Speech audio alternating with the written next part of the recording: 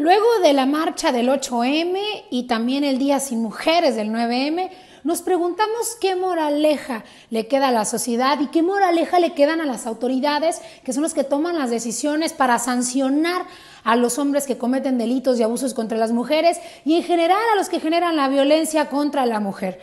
Esta fue la reacción del presidente López Obrador hoy en la mañana desde Palacio Nacional. Veamos el video. Resistir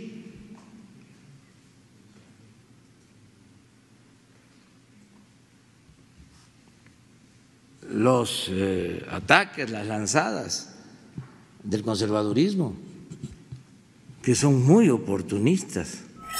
Insisto, como lo he dicho en otras ocasiones, como ya sabemos que va a responder, el presidente Andrés Manuel López Obrador insiste en que detrás de estas movilizaciones está la derecha del país, el Partido Acción Nacional, en algunas ocasiones el Partido Revolucionario Institucional y su némesis, Felipe Calderón Hinojosa, expresidente de México.